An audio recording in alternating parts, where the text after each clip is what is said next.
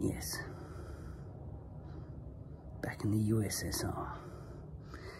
You know, if I identify as not being descended from a monkey and not living upside like a fruit bat, people react.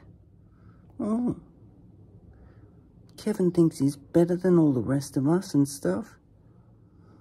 Look at him. He looks like a conspiracy nutcase. So that's why I don't follow that lead. No.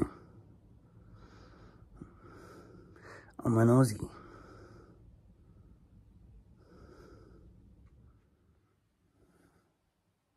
The flat earth, the flat earth info drop, and conversely, the ball earth theory. Possibly two of the greatest pranks ever played on humanity. On mankind, definitely. The ball earth theory. Holy snaps. As I've described earlier in previous videos, it took me two years to stop laughing about it. And that whole entire time, nobody else got the joke. Well, they did. Actually, 508 people have so far gotten the joke. Definitely, definitely it's got to go down on the records. Definitely.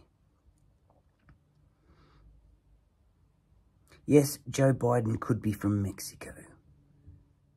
We've had the numbers run through the computer and he looks suspiciously Mexican.